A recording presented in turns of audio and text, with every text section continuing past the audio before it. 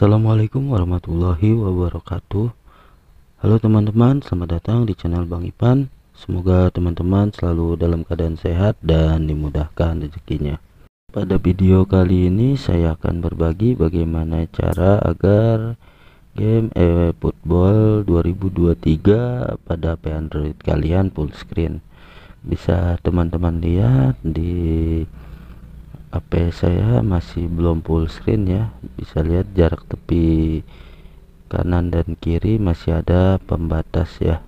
Untuk cara ini HP yang saya pakai yaitu Xiaomi Poco X3 Pro ya.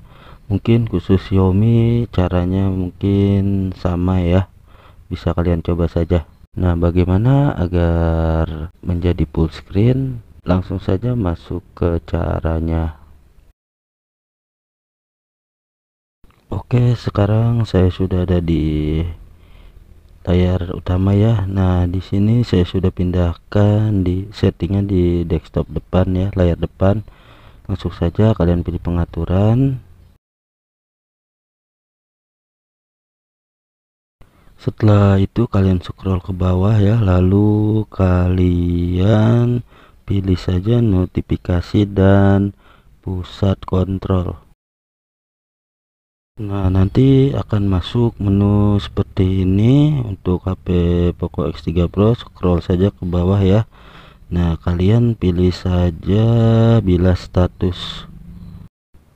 Setelah kalian pilih bila status, kalian langsung saja pilih yang paling bawah yaitu Nox untuk aplikasi tertentu. Kalian klik saja pakai jari kalian ya.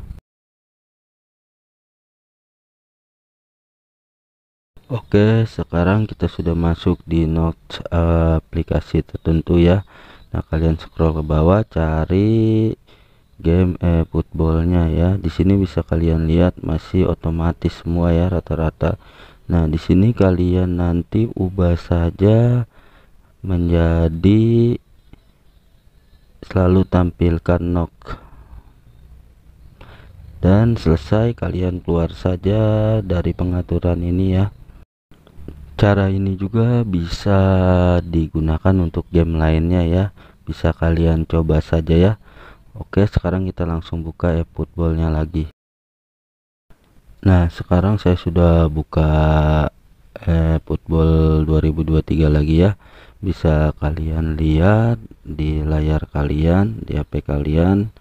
Uh, sekarang sudah tidak ada jarak tepi antara kiri dan kanan ya ya semoga bermanfaat tutorial ini cara ini. Jika teman-teman suka dengan video ini jangan lupa untuk subscribe like komen dan share ke teman kalian. Terima kasih